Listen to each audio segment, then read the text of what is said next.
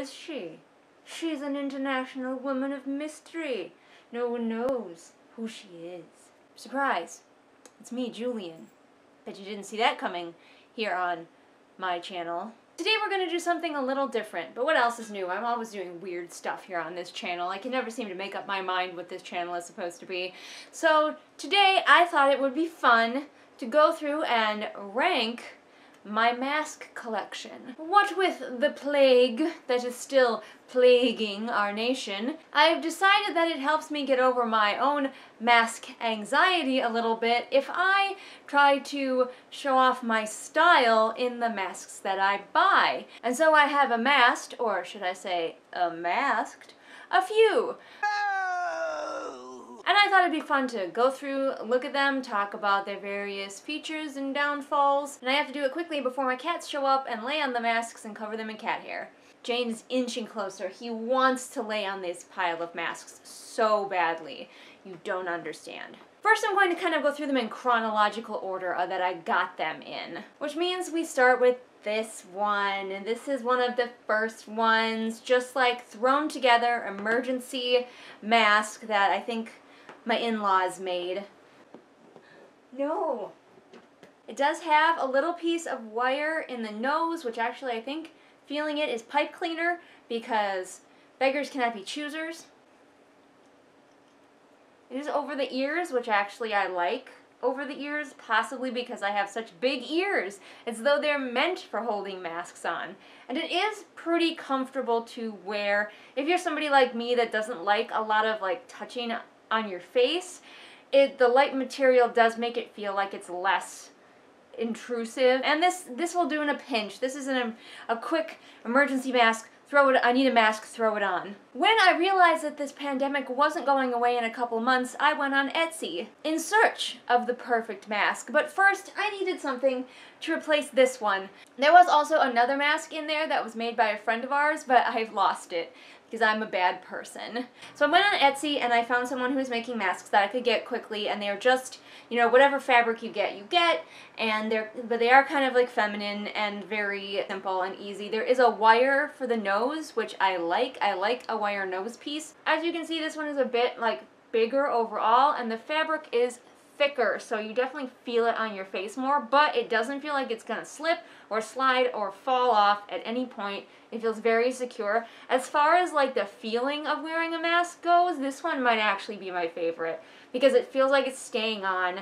It feels substantial. Again, it's over the ears. The only problem with it is that I don't like that it's kind of a little bit big for my face and it just kind of drowns out my whole face. I know, who wants to look at my face anyway? But it is a great mask for, I wear this like shopping, so I usually keep it in my vehicle and just have it handy. But then I started to realize that masks could be fashion. And I went on Etsy to see if I could find a mask that spoke to me a little bit more, and an artist that I found was Can't Stop Good Boy, who has this Snoopy giving the finger and Snoopy giving the finger really is kind of my aesthetic, I'm not gonna lie.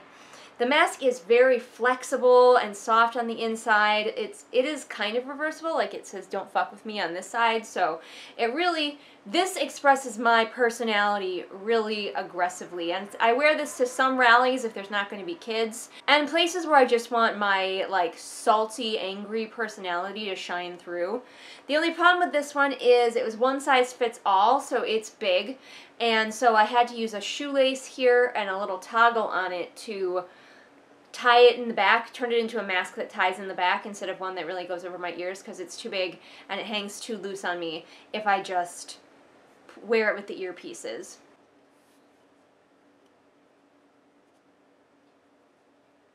The string in the back though does allow me to tighten it nicely. It is fairly comfortable to wear, though I will say as someone with the sensory issues about things like on my face, this one touches my face the most of any of them. I do still like to wear it to rallies and such, but it is like very close into my face because it is like tied in the back. And also I can let it dangle around my neck like this. It's really nice for that. So like I'm at a rally, I'm done, I get in my car and I can just let it hang. And finally, the one that I got most recently that is my go-to mask for pretty much everything now is my N7 mask. This was actually made in Italy. I didn't realize it when I was ordering it on Etsy, but it's all the way from Italy.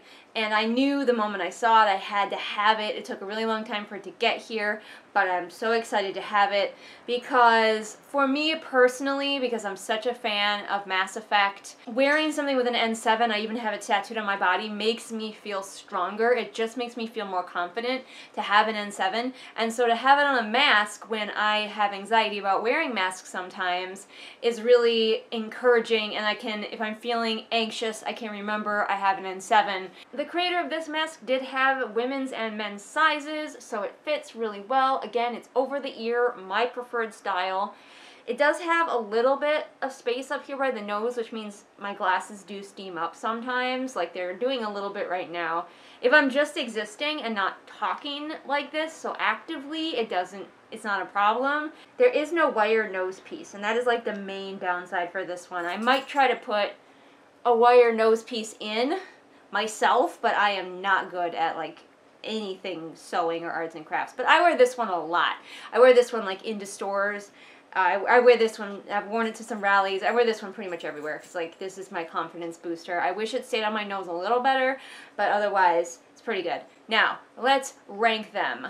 At the bottom of the list, of course, we gotta have Mr. Simple here. It's utilitarian, it works in a pinch, but it's not great. It's The stitching is already starting to come loose. It's very simple. Then next, this might surprise some folks, we have Can't Stop Good Boy mask here, I think because it does touch my face a lot and because it's not completely sized perfectly for me. I still do enjoy wearing it, but I can't wear it everywhere, so I think this one definitely is in the second spot.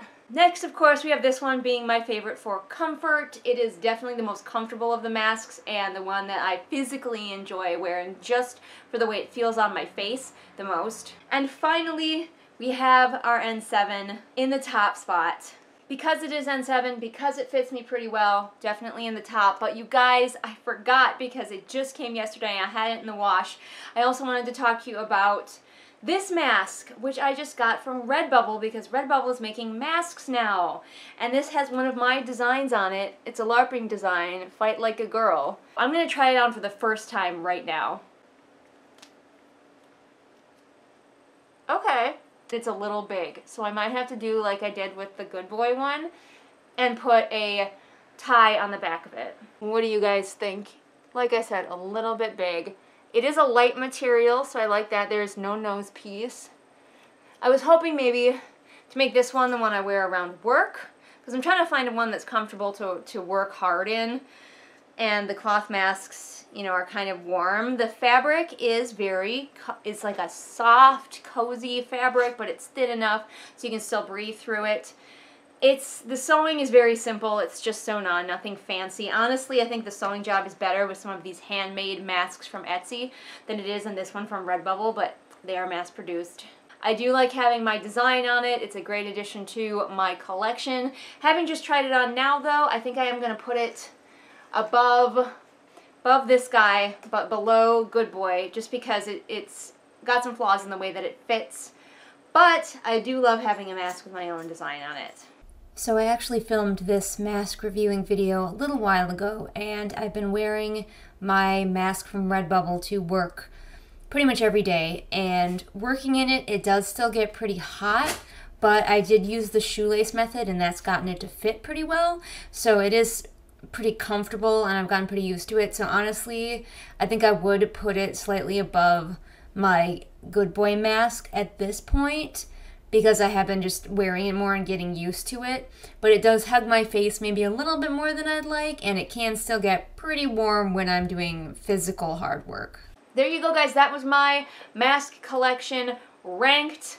I hope this video was enjoyable to like at least two or three people. Like, I'll be honest, a lot of people don't watch any of my videos, so basically I just do whatever the fuck I want, and it works out. So that's where we are.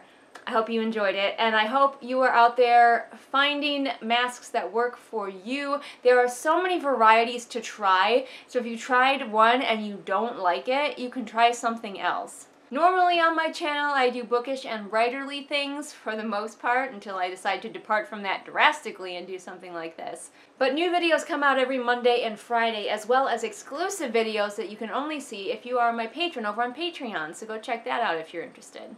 All the links to my social media are down in the doobly-doo for ease of your clicking, and I will see all of you again next time with whatever it is I happen to be doing next time. Bye! Why, yes, I am going to tell you all about my patrons. My patrons like Ray, Artemis, Shelby, Zaire, Jesper, Ryakio, Irene, Scribbling Cat, Savvy, Jenny, Amanda, Lisa, Callison, and Lennox. Have you ever heard of a better collection of patrons? Of course you haven't. Mine are the best. Raindrops on roses and whiskers on kittens, bright copper kettles and warm woolen mittens, brown paper packages tied up with strings. These are a few of my favorite things.